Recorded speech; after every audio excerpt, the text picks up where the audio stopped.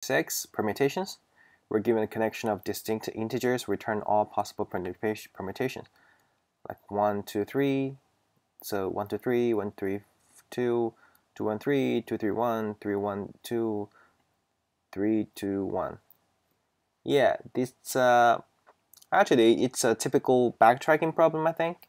Remember, I think we have done a lot of uh, backtracking problem, which is like a search for like all possible permutations, all possible solutions, something like this. It's all backtracking, I think. So for backtracking, there are two kinds of backtracking. Uh, to my, for my understanding, the first one is that there will always be one solution. For that case, we can just like like the Sudoku problem, we can always modify the final result, uh, and then just return it. So if the result is complicated, like a two-dimensional uh, matrix, in that case, we can use the global uh, array or variable to hold the temporary result. But for a case like this, we need to return all the possible permutations, and it's kind it's kind of uh, simple, like a one-dimensional array. We can just just create the recursion function and pass the temporary uh, intermediate result together with the recursion. So I was always like to call the uh, iteration method to walk. And uh, this is a temporary result. And this is the rest of numbers. Okay so what we do is just a just uh, check if the, the check if the rest has numbers. If rest and nth let's see if there's no rest in the numbers or no rest no uh, it's the rest is empty then our walk is done so we we add it to the final result.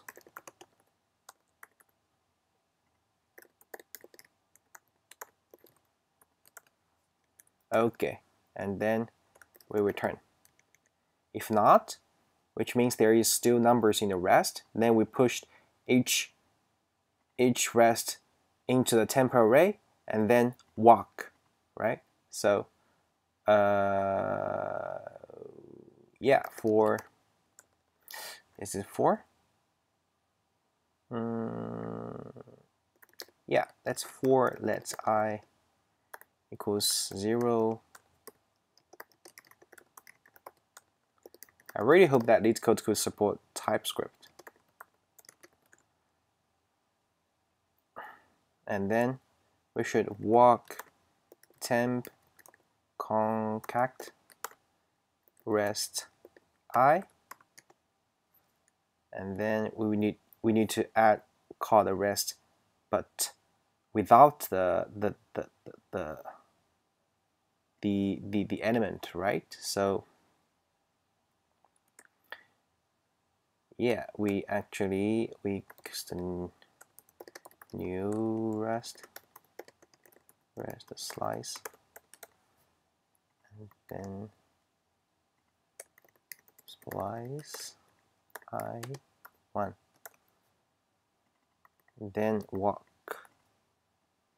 Okay rest. Uh, uh, concat this one. And then this. Yeah and and uh, it's done.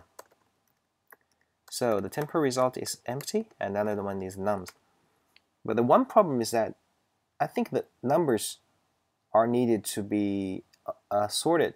If not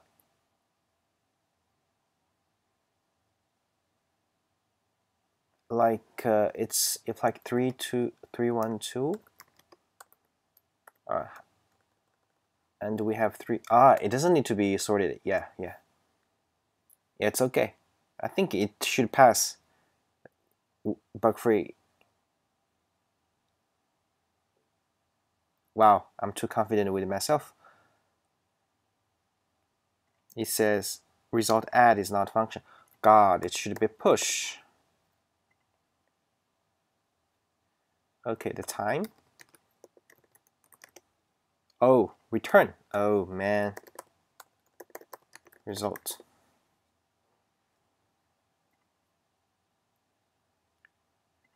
The time, so it's actually the this, right? Yeah. At I don't know how to pronounce this. It should be the permutation of n, right? Yeah, that it's not fast enough, but I think this problem doesn't.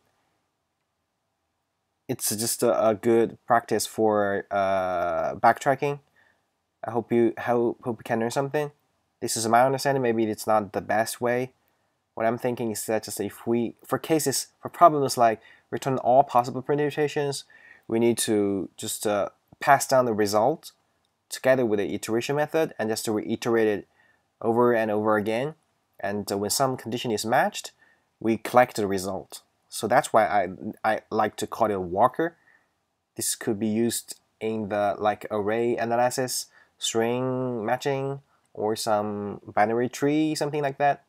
And sometimes we need to the needs the the array to be sorted first. But but for, for here we just like the to have the permutation, so there's no need to sort the array. Yeah, so that's all for today. See you next time. Bye bye.